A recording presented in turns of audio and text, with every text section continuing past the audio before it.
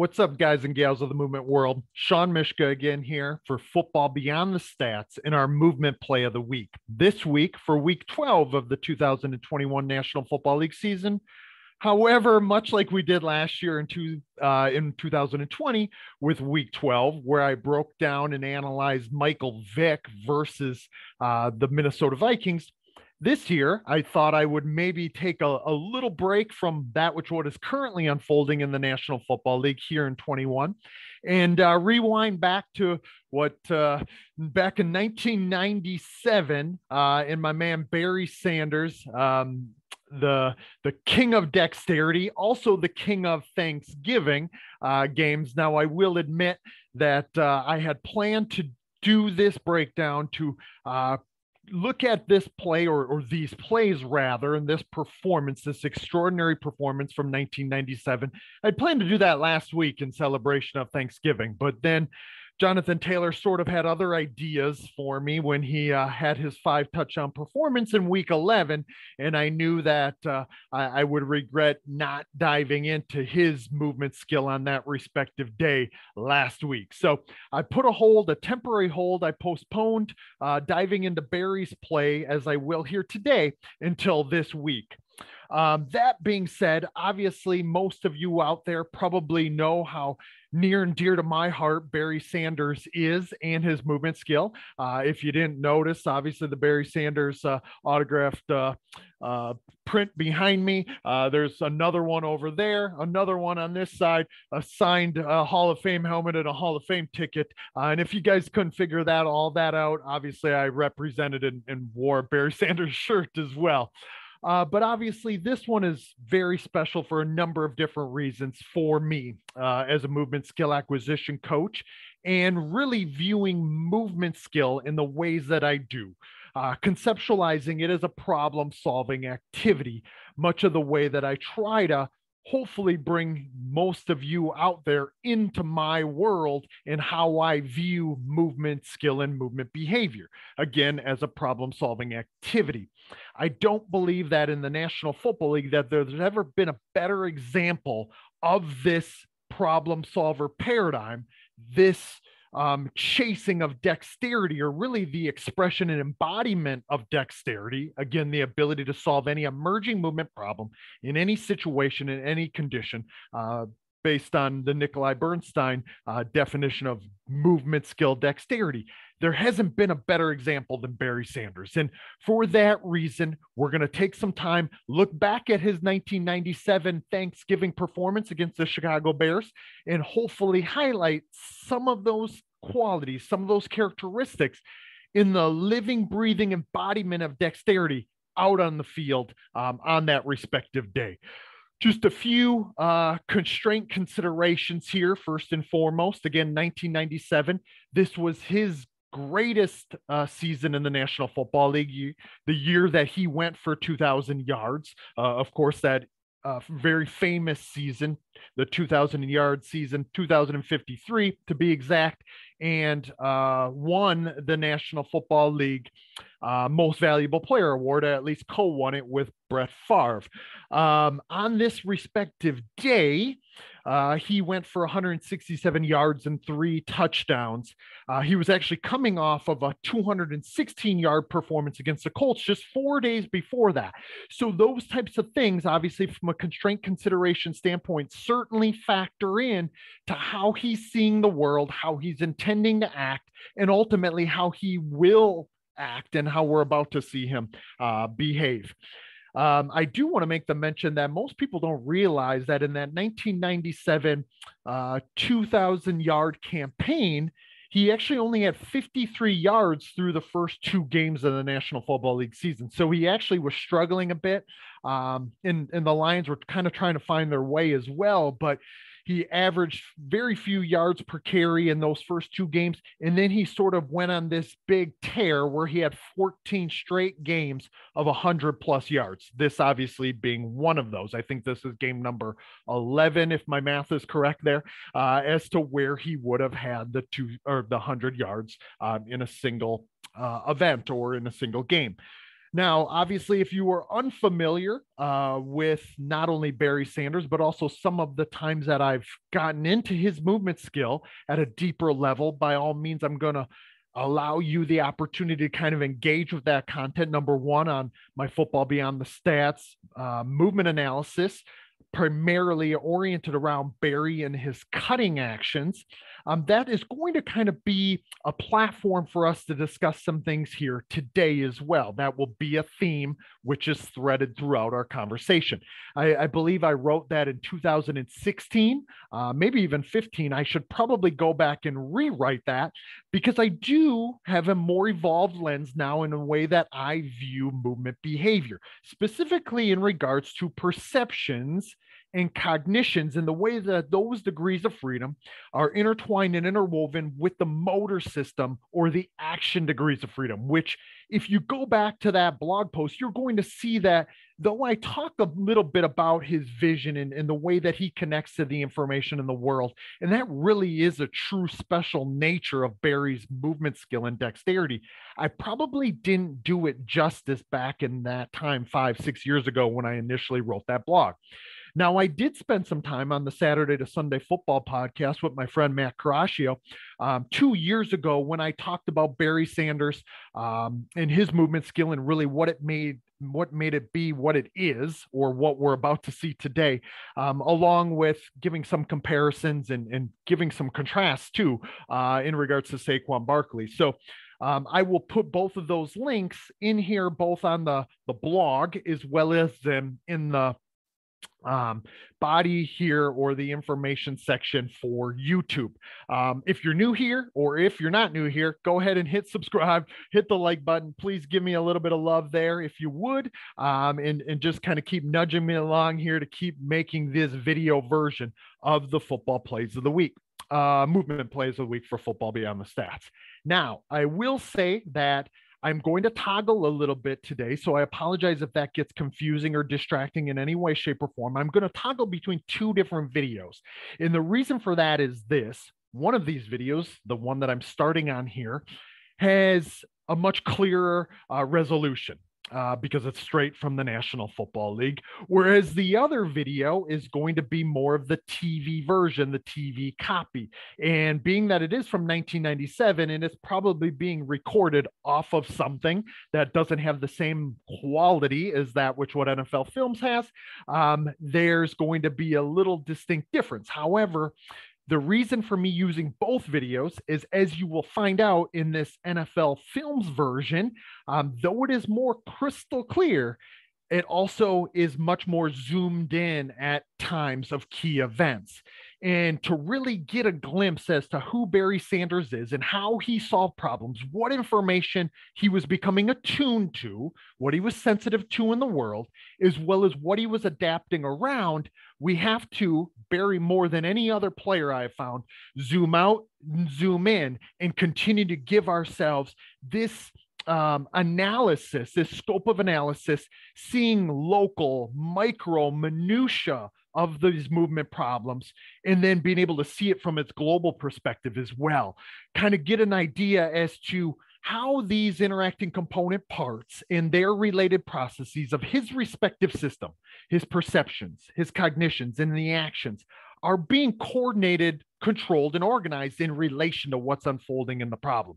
Zoom out, zoom in, uh, so on and so forth. So I'm going to bounce back and forth between the videos. Again, I apologize if that's distracting at all, but I think it'll allow us to give a better platform to discuss many of these things as to what makes Barry Sanders in his dexterity so damn dexterous. So, that being said, let's go ahead and watch our video here, our, our first video. Um, again, 1997 Thanksgiving uh, versus the Chicago Bears. We're going to watch it at full speed first. And these will be the three touchdown plays. And I should probably just shut up and let you kind of revel in that with what is occurring.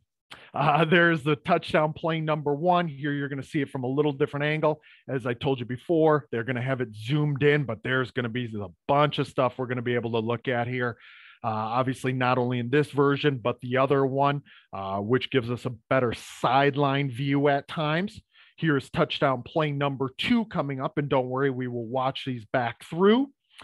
uh, touchdown play two and some nifty functional fits uh, to a movement problem here. And I believe that they may show it to us again. Um, actually, they don't. So they move on to touchdown number three here on NFL Films.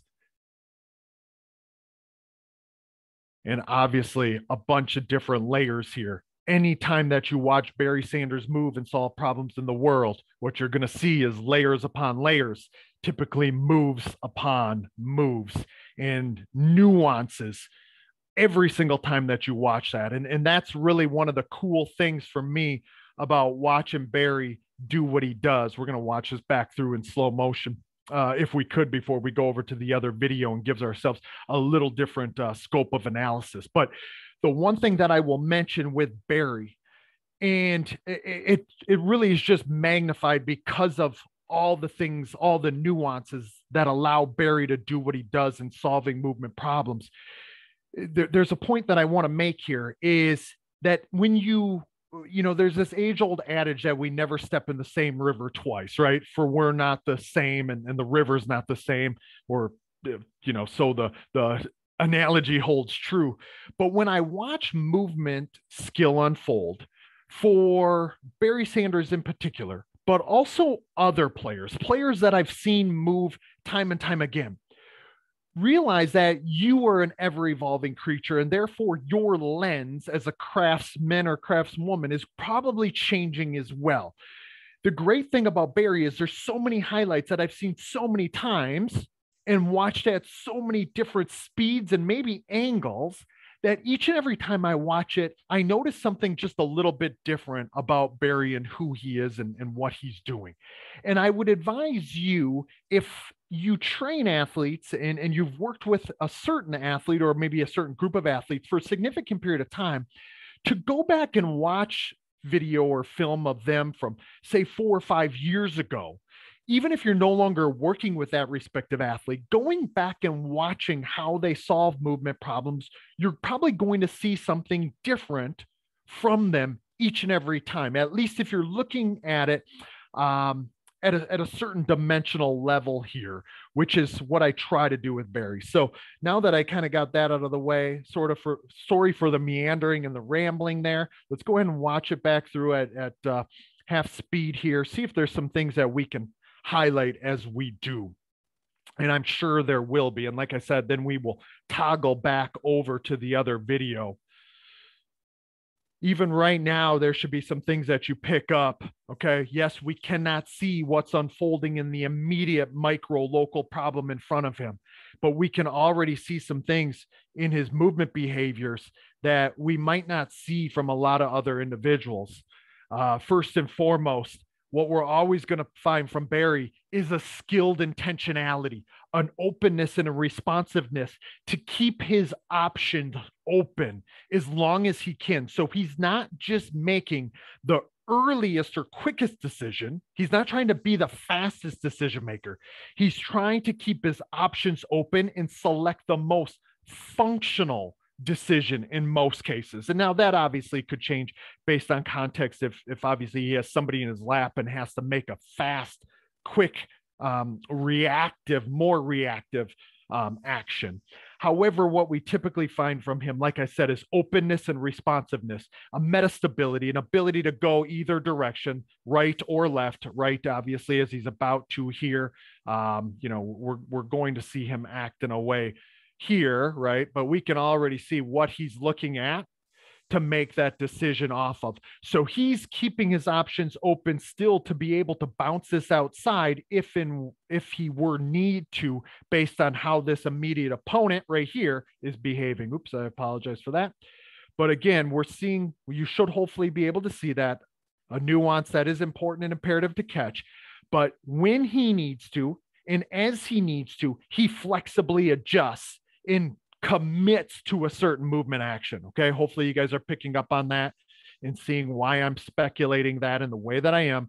Still able to go left or right as long as possible until he's able to make that decision that is going to be most functional for this respective situation. Once he sees that um, this individual right here Um, let's see if I can get my spotlight out. Obviously, this individual right here is in a position which affords Barry the opportunity to move down the hashes here, or if he were to have to bounce it outside, say in this direction, obviously now he's already committed to going um, to his right, but he kept his option open to move and bounce to his left uh, for as long as he could. Um, I hate to belabor that point, but it's an important one that we're going to see as a trend and as a thread throughout. Now, once Barry gets to this point, you can see he's on a constant scan and search of information, always scanning. Look at, I mean, I, I know that you guys are going to think like last week, I'm making a lot out of this. I am, and I am for good reason. Okay. Remember, we're going at 50% speed here, but look at the head. Watch the head turn. Okay. Constant scan, pivot points within his visual gaze, not anchoring anywhere, pivoting between locations and spots, to pick shit in the world up. What is out there? What opportunities? What challenges? What threats are all out there? And he's on a constant search for them. Barry, probably more than any other individual athlete, and this transcends American football. I believe that this statement would hold true. Barry is the best example of this tight, integrated coupling between perceptions cognitions and actions. And because of that, you're going to see Barry, he's always perceiving to act and acting to perceive. It is tightly coupled. He's always acting in a way where he can gain more information with the world, getting more access to information in the world. And we see it here on this first touchdown play. Okay, let's watch it through one more time if we could, and then we'll we'll also see it from the other angle. Another mention that I want to mention, or another mention that I want to make here, rather, sorry, the cat got my tongue there for a moment, um, is this flexible adjustability of his actions. Okay. We saw it on the first play. Uh, if we get out of the lion's den there, we saw it on the first play with his really elongated lunge crossover out of that. Okay. I apologize on the mouse here, but we see it right there again. Okay, watch. See if I can get us where we need to be. Okay. This a constant adjustability of his action. He isn't chasing an optimal technical model, but what he is chasing is the most functional fit, the most functional coordination and control of the motor system degrees of freedom at all times. And that's why we see him in this place or way where he has an abundance of strategies. That certainly helps his dexterity. Remember, degeneracy precedes dexterity, abundance precedes adaptability. And we see it from Barry all the damn time. Okay yes, we might be able to look at Barry's movement mechanics if they were independent and isolated from the unfolding problem, and we might be able to point to certain biomechanical truths, certain attractor states that are what we would refer to as more optimal, right? But it's always about how it's flexibly adjusted to what's unfolding in the world. Okay. And hopefully you got enamored by some of the things that we saw unfolding from Barry here again, watch it once more. And I could watch this over and over and over again. Again, it's about the adjustability. But look at this, guys and gals. Perceive to act, act to perceive. It's always this constant coupling, this constant intertwined nature. Okay. Watch his head. Always on the search for information. And he is using that information pickup to regulate his actions. Okay. Some cool nuances there that obviously um, a bunch of different layers. We're going to see it from a little different angle, and then we'll go over to the other video, and then you'll get to hear John Madden and Pat Summerall talk for a bit as well. Again, perceive to act, act to perceive. Watch this. Okay. Yes, his eyes are behind a visor, but I think you guys can agree with me. We see the constant perceptual search for information. If skill is a search process, Barry Sanders is the key individual to use as that illustrative example. Head constantly searching. And it is obviously all around what is unfolding in the world. We can see his eyes right there behind his visor. Watch with me again, if you will, as we and I belabor this, but it's it's important to repeat. It's imperative to repeat because again, he is the best example of this that I believe that I've ever saw, and I don't think you'll I don't I don't think you'll disagree if you have watched enough um, of Barry Sanders' move versus others in the world. Now, here's that grainy video that I was talking about, but you can see from a sideline view now, we're going to be able to gain greater understanding oriented around the context. Remember, context feeds in the content, the context of the problem in the world, the content of the movement solution, which is coordinated, controlled, and organized to meet the needs of that context.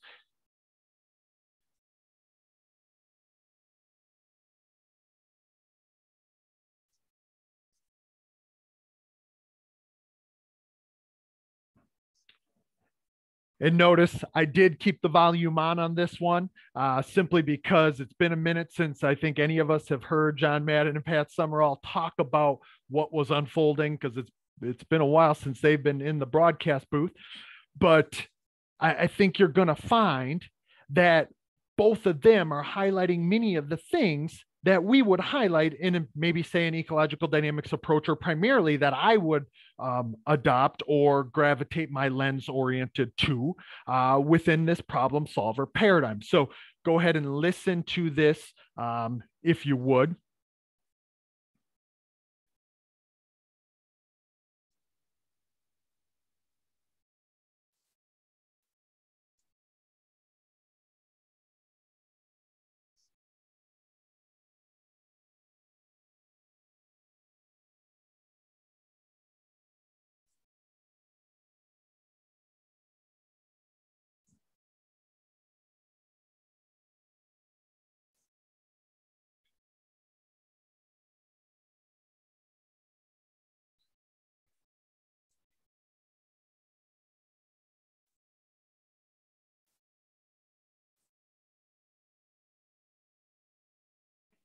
It is a pretty good mixture after all. Um, and I just wanted to you to hear that, not for nostalgia purposes, well, maybe for nostalgia purposes for some of you out there, certainly for me, um, but just to recognize that obviously these uh, nuances, these nuances of this movement problem solving process, again, perceptions, cognitions, and actions. Again, we can't separate any of them from one another and that some of the brightest minds, John Madden certainly being one of them, for um, is goofy as he was in certain ways with his turducken and some of his other uh, Thanksgiving um, antics, as well as some of the ways that he um, kind of interacted with that, which what he was seeing.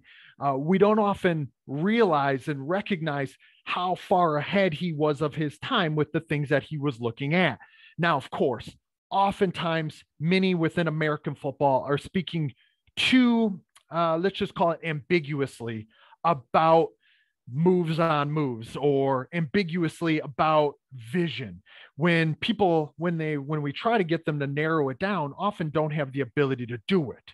I believe that john madden wasn't one of those individuals. He knew what he was looking at and i think it was highlighted in some of the things that he says about barry sanders how he's behaving on this respective play, perceive to act, act to perceive, constant scanning. It's the perceptions and the vision along with the movements in the actions. Okay. So that play one, uh, now kind of coming to completion here. Let me, if I can, uh, move back into our other video. Again, I apologize for the toggling, but I think you, you know it'll be worthwhile as part of this illustrative case study. Actually let me um yeah let's let's go through this at at half speed now uh 50 percent speed again because we did watch it all the way through before. Um i will take us to sort of the key events if you would um to where i believe that in these key events we can really start to see the magical nature of Barry Sanders' movement problem solving, as well as his information movement coupling. And what I mean by that is we see him on this constant problem solver mentality or within this constant problem solver mentality, right? Even in the open field, once he gets here, um, we have to think about his constant search. It's not just that search just isn't about the opponent's behavior, even though I say that and he's about to interact with this individual here but uh, on that on that stiff arm. But let me go back and let's see here. Again, you can tell this is completely unscripted.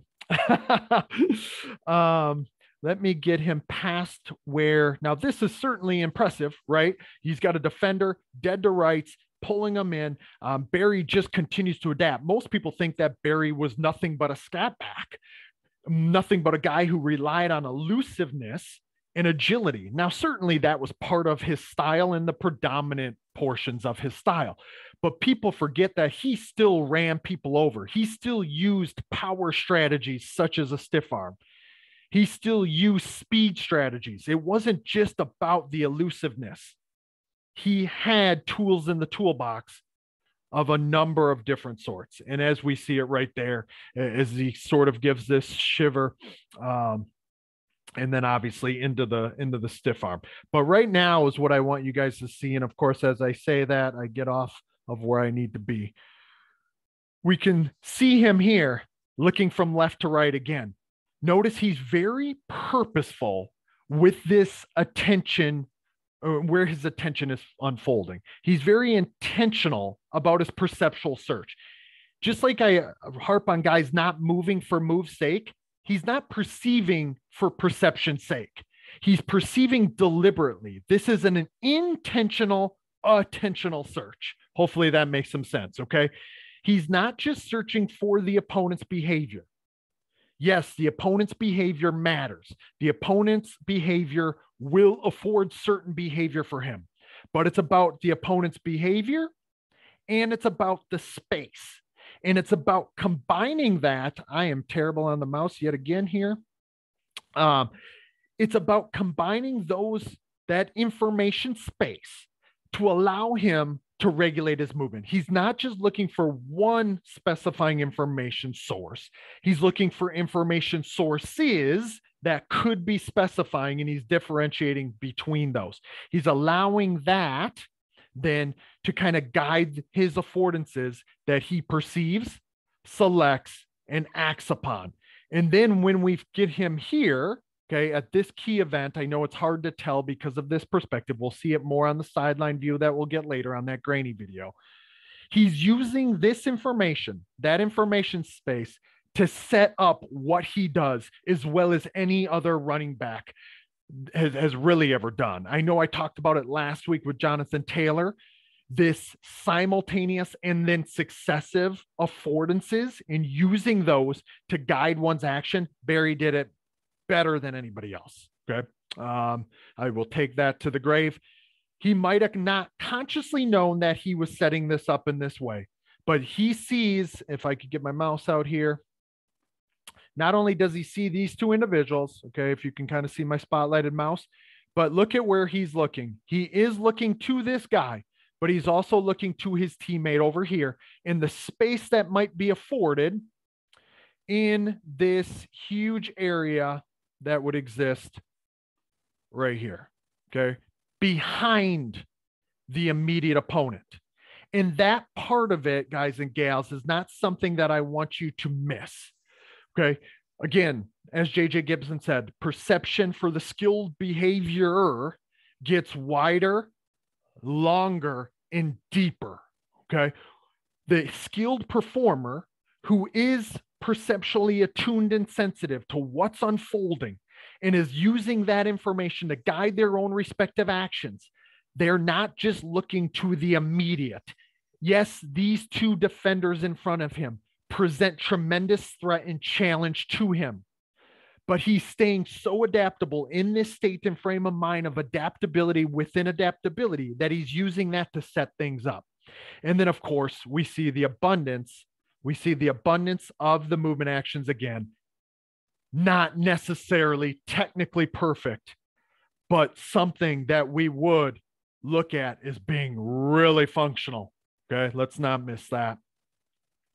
In fact, sometimes we see him become not only organizing a really authentic movement solution, but one that can sort of get us into harm's way to a certain degree. This amount of interpersonal distance that exists between this immediate defender and Barry is a very tight window, and he has to flexibly adapt and adjust. And he's able to do that through the abundance in his movement strategies.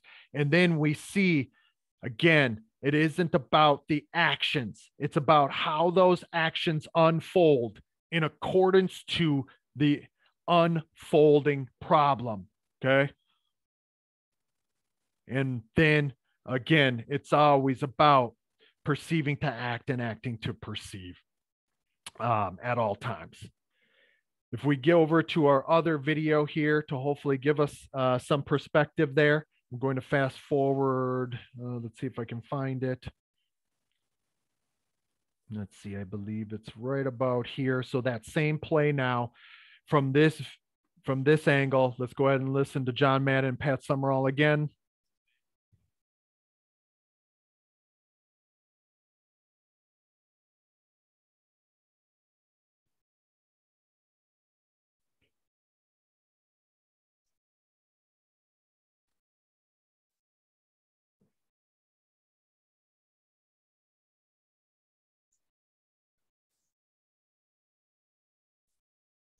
Hmm.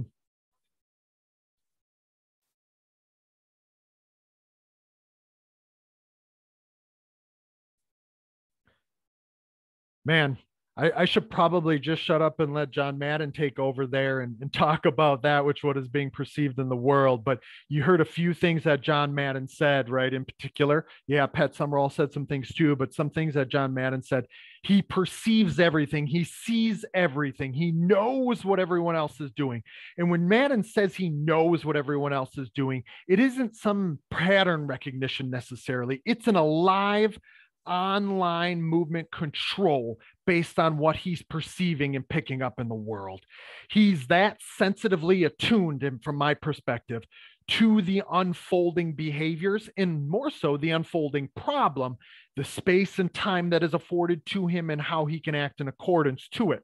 Hence the reason why we see him have that hesitation, wait, set things up, and coordinate it um, in accordance to it. Let me see if I can get on 50% speed here just for this. And I apologize for the graininess. Obviously, this is the best that we can do from 1997. But look at this right now. I just want to uh, highlight a few things if I could. Uh, actually, let me. So again, we see what he's picking up. Okay. Right now, at this instant, where we have this visual either there could be a visual anchoring here but there could be a pivoting between picking up these two respective defenders and then having the opportunity to, to know and feel what's out here in this space for what may be afforded to him, whether it's here in this area or whether it's going to take place more so behind these two defenders. And we should obviously also recognize, as I did before, that he has a teammate here, which I don't think is going to be lost uh, on him either. And that's why we see this slight hesitation as that space gets closed down and he realizes I'm going to solve, I'm going to use this information from this problem, set up my solution. So the unfolding problem solution dynamics of this immediate local movement problem here can change how the problem and solution dynamics are going to unfold later on. And again, the graininess of that video, I apologize for that, but I think you guys can still pick up that which what I'm putting down here.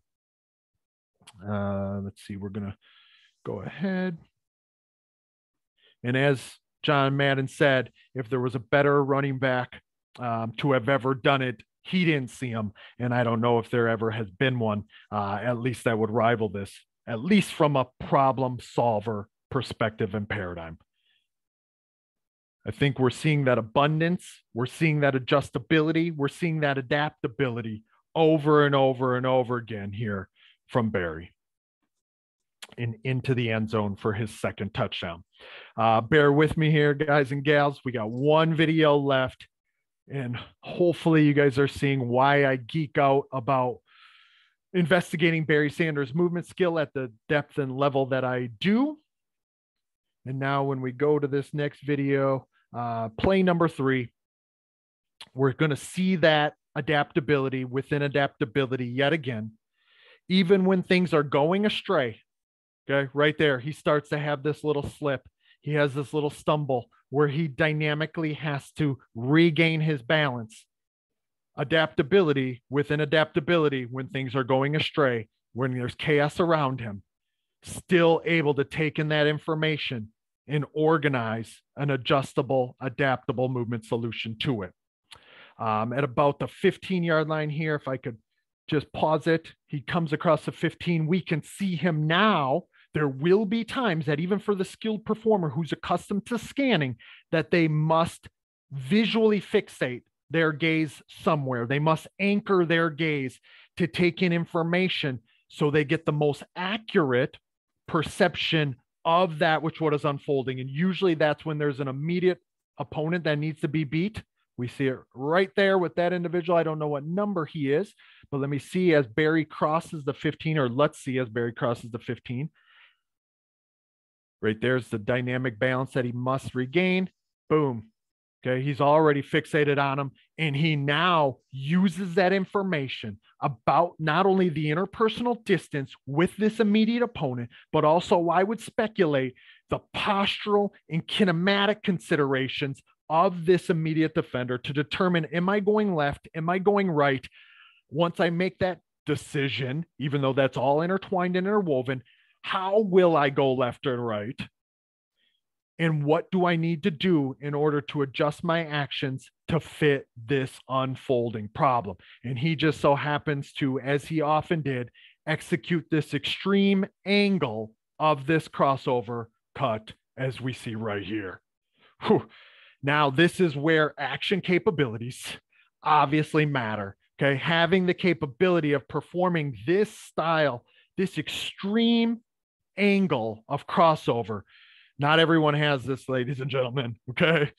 And look at as he throws this inside foot down underneath him, crosses over from left to right in this way. That is an extreme angle that most guys cannot get into.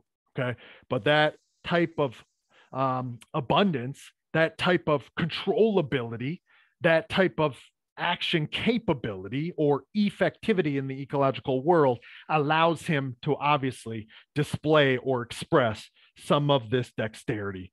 Barry always had options. And again, we're back on that perceptual search perceive to act, act to perceive. That head is always turning.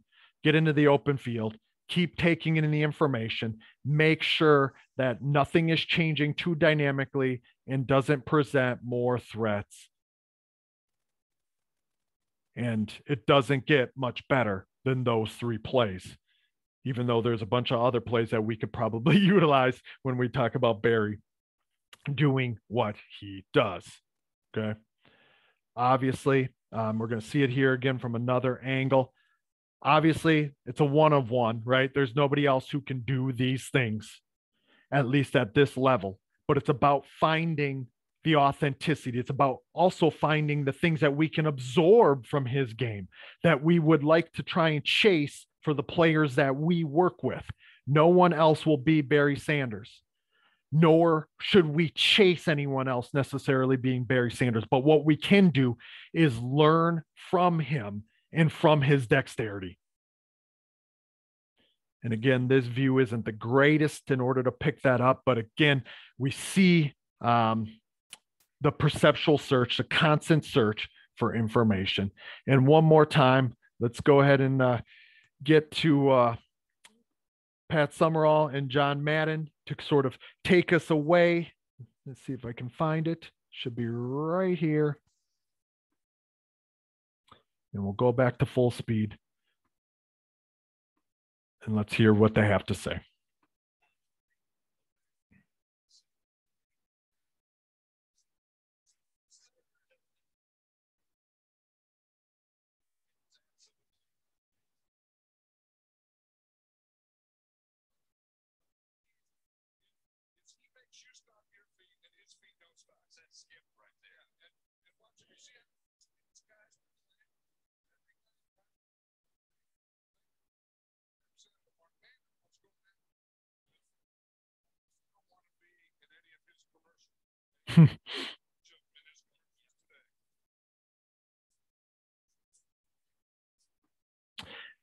And as they said, no one wants to be on Barry's commercials, right? No one wants to be on his poster. No one wants to be on his highlight.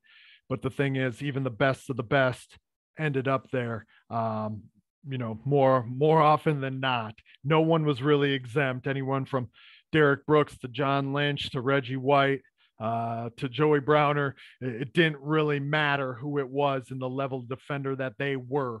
Um, most everyone through that decade uh, got posterized at one time or another by number 20, specifically in 1997 when he was at his very, very best.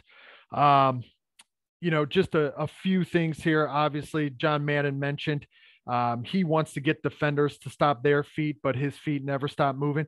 Um, I only partially agree with that. I definitely agree with the first sentiment there that he does want to get players to stop their feet, but he isn't necessarily consciously thinking, I need to get this player to stop their feet. My feet will keep moving and then I will act. It's a constant intertwined nature here. That player and players in these situations with Barry often end up stopping their feet because they have fixed and frozen degrees of freedom across their human movement system, their perceptions, cognitions, and actions. Their system becomes frozen because Barry puts them frozen in their shoes, and that's how he makes players miss as often as he does. Barry's feet will stop. Okay. He will stop them. It's just that he already has such a, a tight coupling between his perceptions, decisions, and actions that he makes that it appears as though everyone else is stuck in the mud, everyone else is stuck in cement, and his feet are still moving. Okay. Um, the, at least that's my hypothesis on the matter oftentimes we do see him stop, control, sway, slice, move from one action to the next. And that is all, again, for the purpose of perceiving and making a more accurate decision based on the world. But there, again, much to John Madden's point, okay, um, if I can get my spotlight, look at this position that uh, this old cat is in, okay. Though this amount of interpersonal distance. I know we talk a lot about interpersonal distance here. That's pretty tight. Okay. I can't NFL next generation stat this because obviously this is from 1997, but that's about a what yard and a half, maybe two yards at best at times, depending on exactly when we measure it. It's a pretty tight interpersonal distance. But Barry has so much abundance within his movement system that he still finds a solution to it, even if it's not um, maybe repeatable or optimal in the sense that it's what he would love to use. He's just adapting. He he just does he's as he has said, he's perfecting the art of making someone miss. He has this singular intentional objective to just make guys miss. And he made guys miss over and over and over and over again. Um, not only in these three plays that we saw today, but obviously across the course of his career um, in the 1997 season was maybe the best example uh, of that for him. So, ladies and gentlemen, obviously, uh, what we see from from Barry Sanders, hopefully, you guys get kind of get the drill here. There's a bunch of different layers to it. Okay, we see abundance, abundance leading to adaptability. We see this constant state of adaptability in this true problem solver paradigm where these movements um, are really being coordinated, controlled, and organized at a multidimensional level between his perceptions, cognitions, and actions. And they're as tightly coupled and as intertwined and interwoven as any example that we see across almost any other sport. So I know this video got a little long. I thought obviously we needed to do justice to, to who Barry is and what Barry's movement skill is really about, and that performance not only in Thanksgiving in 1997, but also to use it to inform our analysis, to inform our understanding of how we view all movement behavior, not only within our sports here today, but across sports and across time. All obviously um, illustrative case studies for us to continue to purposely study and try to get greater understanding of. So, for the movement play of the week for week 12, uh, 2021 season, I think we'll be on to the real uh, 2021 season now next week after taking the brief pause to dive in to Barry Sanders today. Thanks much, guys and gals. I appreciate you. If you have thoughts, ideas, comments, feel free to fire them away in the comment section.